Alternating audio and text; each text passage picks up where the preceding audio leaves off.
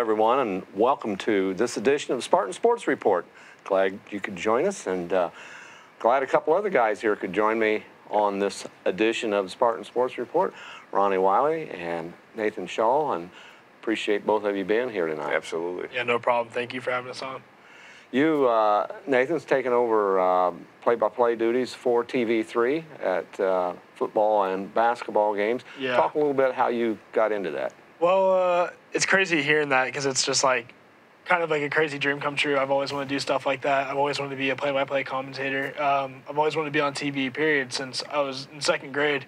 So kind of hearing that actually like people saying that towards me is just crazy to believe that. So, but yeah, it kind of started my sophomore year. I uh, I was talking to my teacher. Well, first how I got involved with it was I entered into the CHSA classes, radio, TV, intro to radio, TV, and everything. And I told my teacher, I said, uh, "Hey, I have an idea." And she was like, "What's your idea?"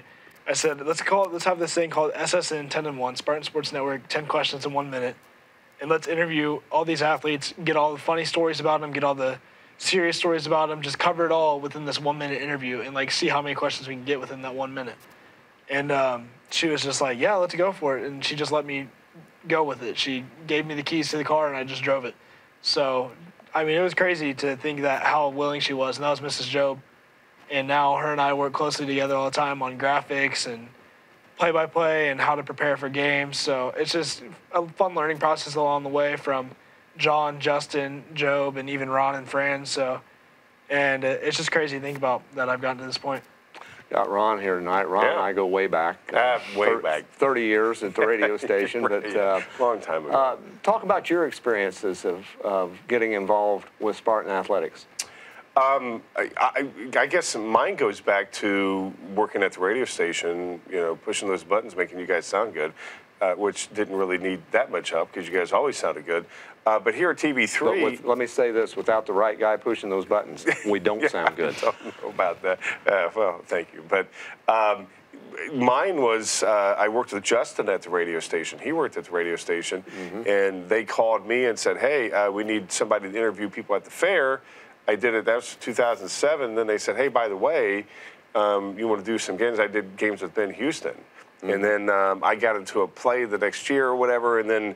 Uh, in 09, the last game of the 08-09 season, um, John called and said, "Hey, you're going to do a game with Fran," and it was, you know, 12 years after that we didn't stop, and then uh, uh, Fran had, um, you know, uh, uh, had to step away, and, and Nate stepped in, and uh, you know, been rolling ever since. You know, uh, we talk about Fran, and, and He's a legend. What a great friend and a, and a great man. Um, I grew up listening to him. Yeah. And I grew up wanting to be on the radio, and uh, had had that opportunity. Uh, this is my 31st season, and um, uh, never had any training in it, and it shows. But No. but uh, you know, Fran's a person that I always looked up to, and uh, certainly um, one day uh, I needed a fill in uh, on the radio, and I asked Fran to, to set in. And, and to me, getting to work with the man He's that I grew legend. up listening to Yes. uh, was quite an honor for me. Um, and I'll ask you, Nate, uh, who you might uh, emulate, uh, who you listen to or who you watch. I know that uh, Fran was one for me. Also, um, Don Fisher, who has been voice of the Hoosiers all these years.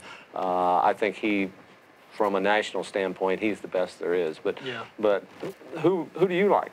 Well, it's uh, it goes back to those obvious guys like Mike Breen, uh, Joe Buck, some NFL commentator, NBA commentator. I mean, those are some of the obvious ones. But I mean, in reality, I go back and look at it. It's like Fran. I mean, I grew up listening to him whenever I was a kid, uh, watching TV3. I'd watch the games.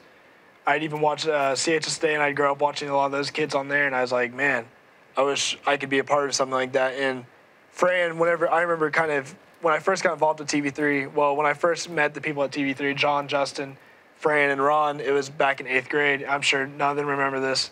Well, my cousin actually worked for him, and he was doing cameras that night. I came in, met all the crew, and I was kind of like a shy little kid in like a candy store because it was like it was like seeing all these things that you prized and all these things that you wanted to be and all these things that you wished you could be and wish you could have too. And you were sitting there watching the cameras get taken down. You're like, oh my gosh, this is crazy watching this. And So it was kind of like growing up watching them, uh, John, Justin, Fran. Even though I didn't know John or Justin because they've always been behind the cameras, it's just those kind of guys have always emulated my style after. I mean, graphics wise, I try to learn a lot off of John and Justin when it comes to editing and everything. And then Mrs. Job, ever since um, ever since my sophomore year, I've tried to stylize my editing and um, animation, even regular editing graphics off of that. And Fran, a lot of my play-by-play, I try to emulate. But um, one thing I always like tell kids who are younger than me that are trying to get into this role, a play-by-play or color commentator, that have been kind of stepping up over the past few months, over the past year.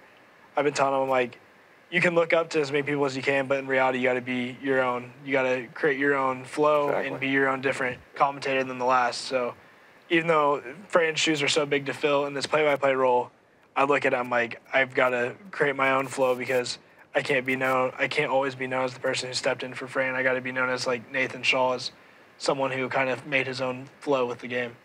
Absolutely. Who's your cousin? Uh, Jacob Bentley.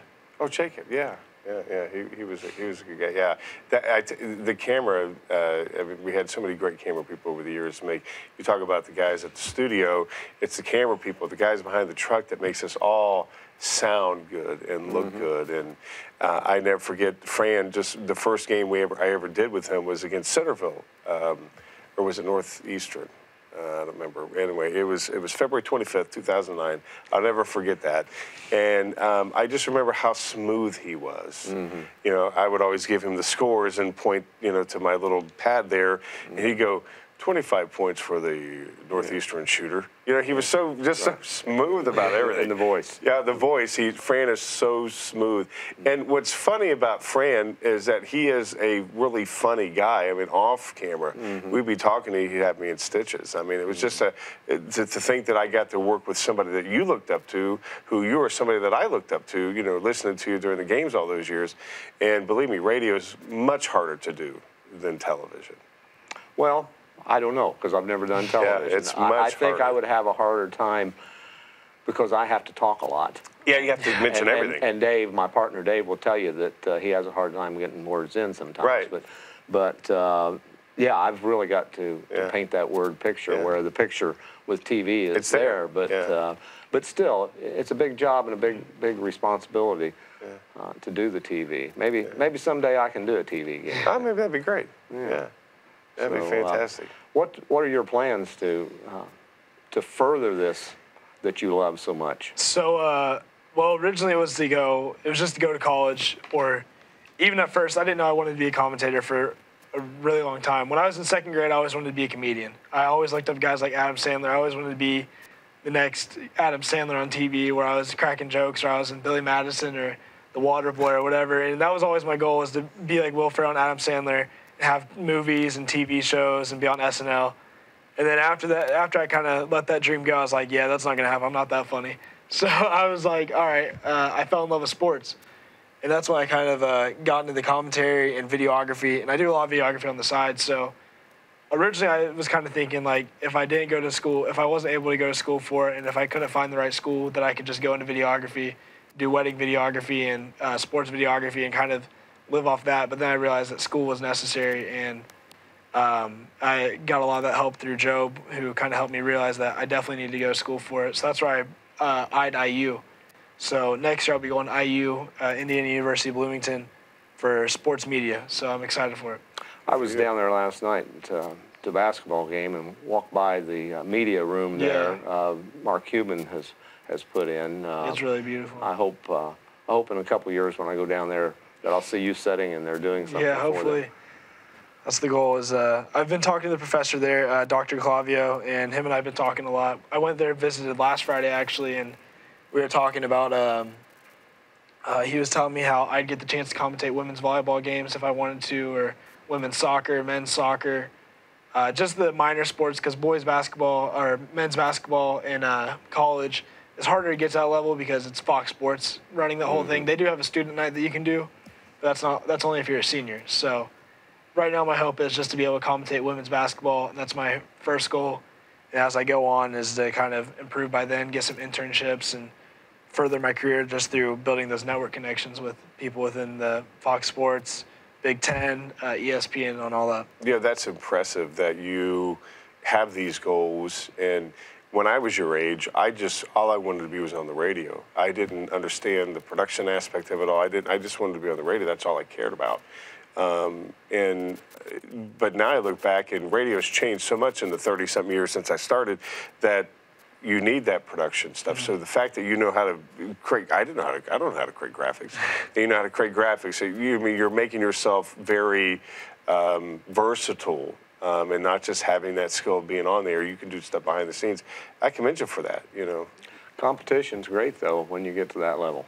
Yeah. Yeah. To, The more you to know. get to get those positions. Yeah, that's why I've kind of taken it uh, on myself to kind of step into this role now and kind of do as much as I can. And whenever it came to commentating, whenever Joe, whenever Joe let me know that John was wanting to try to see if I could commentate the boys' game against Jennings County, and I was nervous at first. I kind of thought of being like, uh, I don't know if you want me doing that, especially to being a boys' game, because I've done a couple girls' games here. I did a couple girls' games with Fran and Ron, and uh, I remember that boys' game. I asked Ron, I was like, Hey, Ron, like, I do play-by-play? and Ron And what did I say? You were a little unsure at first, but you did. You were willing to go with it at Yeah, first. You I, really- well, I, yeah, I, I, was like, okay, because I, I didn't want, I didn't want you to set yourself up to Yeah, fail. yeah. But then I thought, you know what, this is probably the best learning experience is Yeah. to, is to do, and you did a great job. I mean, Yeah. as, as we grew together, and again, it's all about chemistry. You know that, you know that, Sam. It's all about chemistry, and and as we grew, we knew what each other's Mm-hmm. roles were, and you can see that we got our broadcast got better. yeah, they did get really. good. And um, you know that's what it's all about. It's that chemistry. You can have two great, you know, like there, there's nothing to me. You talk about people you grew up listening to. Mine was Marty and Joe. Yeah. You know, and they had the great chemistry. Those are the Reds, by the way. I know it's before your time. they were the Reds broadcast, and Marty and Joe just had this chemistry about them, and that's what makes a great. You know, uh, uh, you and Brett had uh, had had great chemistry. That's what makes it great. But what I'm impressed to hear about you say is that you you, you recognize the landscape. You right, and, and that's impressive to me. Where you're like, well, listen, I, I probably can't break into this. I want to break into it eventually, but I may have to go and do this, this, this before I get there. And, and that's incredible that you know that. And and if you want to do sports, you know, I've specialized in basketball. Um, in the last 12 years or so, I've, I forget how long I've, I've been in on the football broadcast, but only as a color analyst. Um, and I've not done play-by-play with that. But the sports you're talking about, you got to know a little bit about all of them. I don't know. I don't know enough about volleyball to call a I'll be volleyball the game to or a admit. soccer game. But Oh, he's soccer. That's how I first met Yeah. him. Was uh, John calls me and goes, "Oh, we're doing a soccer game." I, I I don't know anything about soccer. Ben Houston was the guy that would be the lead guy, and and because uh, Ben knows all about it. And I'm like, "We're bringing this kid." He goes, "He knows soccer," and I was like. Here I am trying to do play-by-play after I think the middle of the broadcast. I'm like, he's doing it all. I don't know what he know what's going on. And what's funny Yeah. about that is that was Yeah. my first time like being First on time air. ever, yeah. And you were uh, great. Yeah, that was my first time being on air, and I remember kind of sitting there, and I was like, "Wow!" I was like, "This is crazy." I was like, "This is like a dream come true." Yeah, and I was like, "I've gotten to, I've gotten to commentate soccer," and I was playing JV at the time. I told my coach, I was like, "Hey, coach, it's my sophomore year. I'm probably not gonna get any starting time for varsity tonight, so or any time for varsity at all. I was I was no good at soccer, and I was like, so can I uh, can I commentate at TV3 and then." Uh, what was kind of a last minute thing as well because it was like 40 minutes in and they're like hey we need you to commentate or Job Yeah. came up to me and just like hey can you commentate Fran's running late uh, Ron's running late so it may just be you for like the first 20 minutes That's right. the Yeah, I was Wow. running late too. Yeah, I, I was. I was like, man, I because the game starts so early, and I'm like, I don't know if I can make it. talk Yeah. about butterflies. Yeah, yeah that he's was in that there. was scary Yeah. and then uh, I remember kind of stepping in there I was like my heart was beating really fast I was like oh my gosh I was writing the open on the spot and now it's funny because it's like now every week before a game I'm sitting there writing opens in my room or typing an open on the computer and it just comes like natural it's not any good right now I mean it's it's good but it's not at the point where I'd like it to be but it's You'll funny grow. watching it yeah You'll grow. Yeah, and, and the more the more guys that you can sit down and work with, yeah Yeah. um, you know, like uh, with me, with Ron, if, if that ever opportunity, well, you've worked with Ron, but I'm just saying others that um, you take from them um, what you like and, and take Yeah. what you like and leave the rest. Yeah. But, Yeah. but That's uh, it, it's it's good experience. Over the Yeah. years, you know, I, I worked with some great play-by-play guys before I ever took over play-by-play and, and learned so much from, from Smoothest transition, Sammy. I will say you went from doing all. I mean, to where you, again you talked about with uh, basketball, you don't get to talk as much because there's the play's so consistent. To go from your color commentary to play-by-play the next year was a seamless, smoothless Well, thank you. transition. Thank you. But Yeah. you know, I'd, I'd had uh, some good guys in, work in at, my yeah. ears. You know, starting with, with John White and then Yeah, oh, yeah, then yeah, Brett, John. Brett Briscoe and, and Matt uh, Turner. Matt Turner, uh, Tom Lee. You Tom know, Lee, yeah. Just uh, some great guys that I listened to long enough. Uh, and learn one thing you got to learn, and you've learned this that you can't sit there and be a fan. You can't sit there and watch Yeah. the game. I don't know. It's hard. You've got to be involved in the game. Yeah. And know what's going on. Well, it's funny. I found myself on Friday's game against the. Uh, who was that against again? Oh man, that's bad that I forgot already. Um, oh, we forgot too. Friday, Friday's, Friday night's game. I know Anderson was Saturday. yeah. Friday was Shenandoah. Shenandoah? no, no, no. Centerville. Centerville. Centerville, yes. Was the game before. yeah, so it was Centerville, and uh, I was mistaking it for Cardinal Ritter because they beat both teams by about 30. The Cardinal Ritter and Centerville. But I remember watching the Centerville game.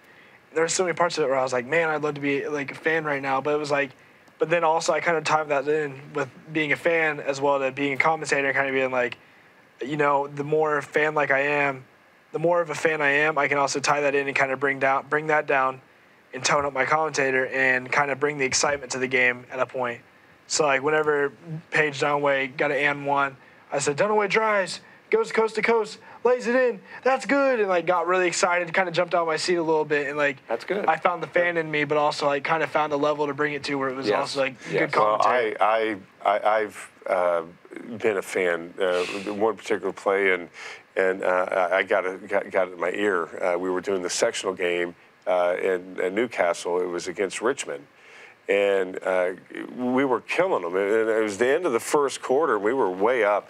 And th- they kind of let Grant go slam it. And I, I went, yeah. I mean, I went, and John, John said, you ruined it. Because I, I, I knocked the system out and everything. And John's a mayor going, don't be so loud.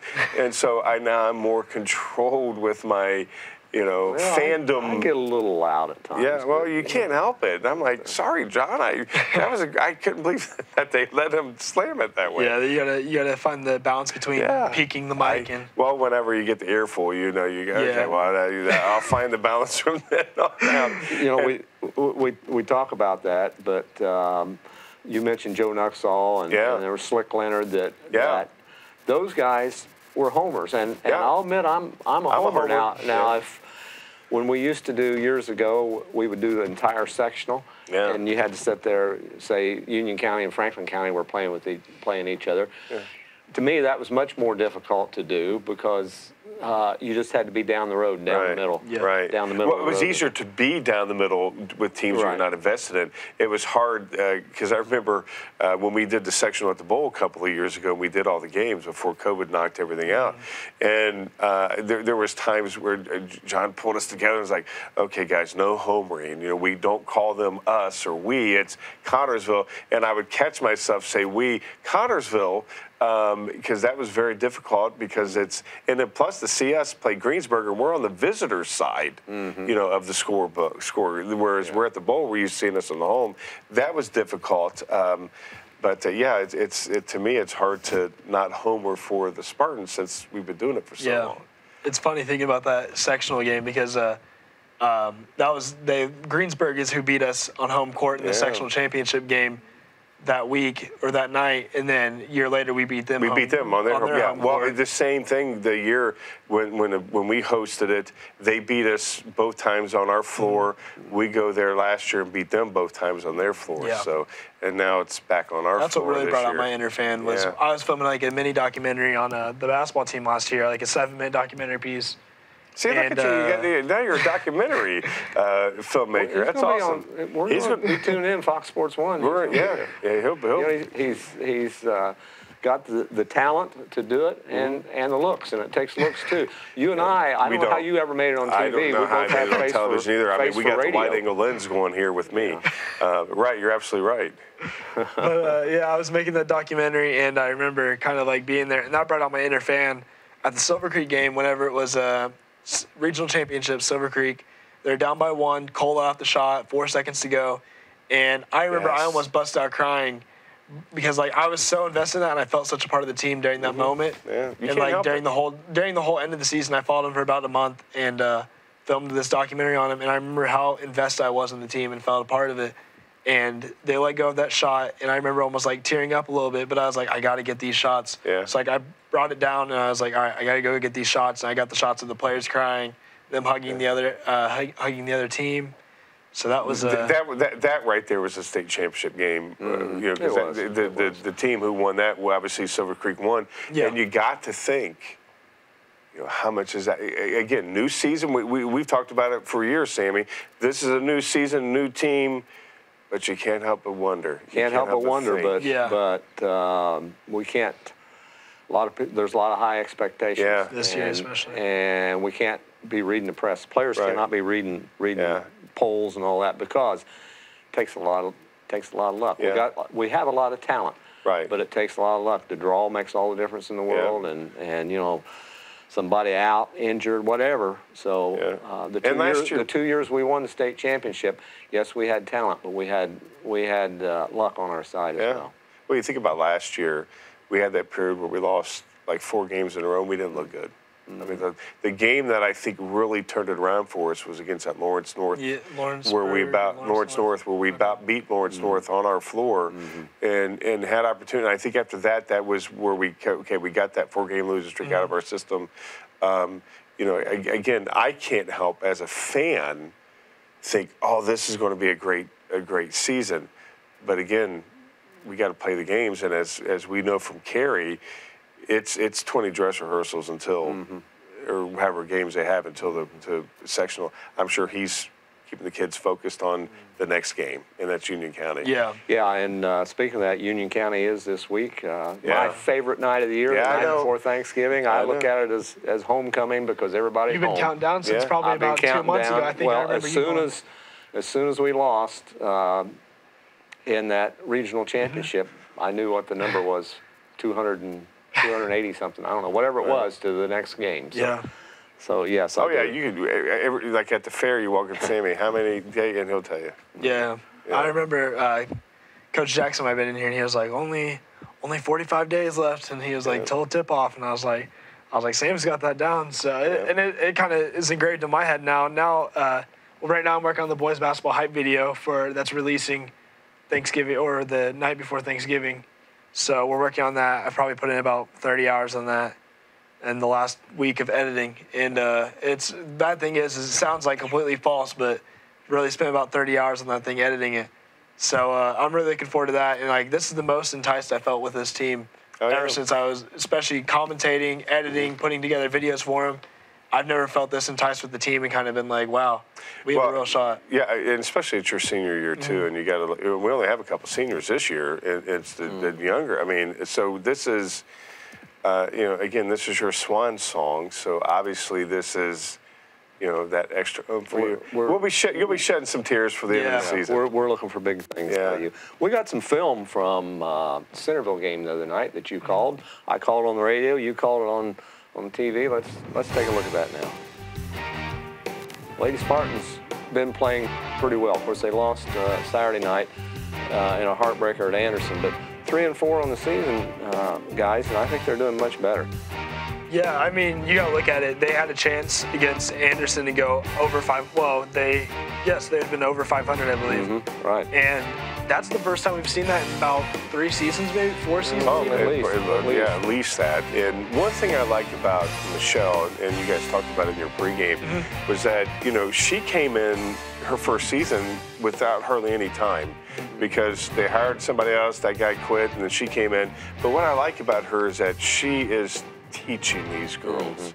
I like her. And you, and you can see it.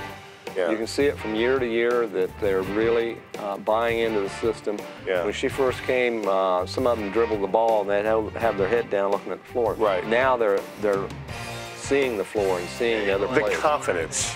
Yeah. The girls have a lot more confidence. And you gotta watch even with the depth as well. I mean, you got players that are coming off the bench, two sophomores, and McKenna Lucas and Haley Simback, girls that haven't touched the court as a varsity member yet, and they're making huge plays this season. I mean, McKenna going into Friday night averaged 1.8, Haley coming into uh, Friday night as well averaged 5.2. And you got to look at it. I mean, even these younger players are buying in. And I, I don't think I've seen this much of a bought-in system in the past couple of years of girls varsity basketball. Uh, you're right. It's they're fun to watch. Um, you know, they're only going to get get better. I know that uh, coach talks about getting one percent better every game, and, Oh, uh, and, and you see that. And what I love about the girls is that they they look like they're having fun out there. Um, you know, they, they score and, and they're clapping and they're having a good time. And you know, again, seeing Paige right there, just seeing her develop from a freshman to where she is now. Look at that nice dish inside. I mean, it, it- we've seen the growth. Her and Rubel. I mean, we've seen them mature. Carson Morgan, she's Yeah, Morgan. she- she's well, she's a force. transfer from Newcastle. And yeah. Oh yeah. She's she's, she's fun to really watch. been a star-studded player for us over the. I mean, her and Paige combined for 40 Right, against yeah. Cardinal Ritter. I remember covering that game with uh, my camera, and they they really are a great duo. They know they played AAU with each other a couple times before, is what they were telling me.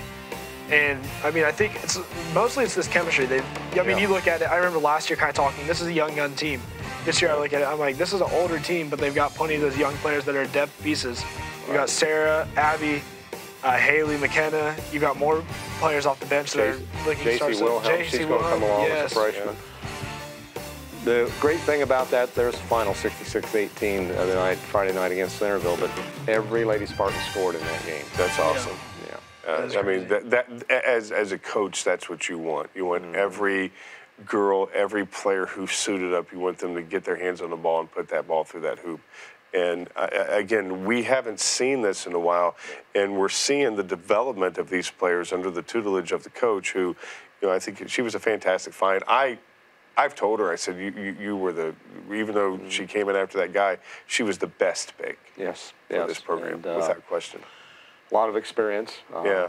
Uh, she's done well wherever she's been, whether a player or, or a coach. So Yeah. uh, we're fortunate. We're fortunate to have the coaching staffs that we have. I think at all at all sports. Uh, of course, Kerry Brown. Um, Oh, what can you say about him? he is so respected around the state. Yeah.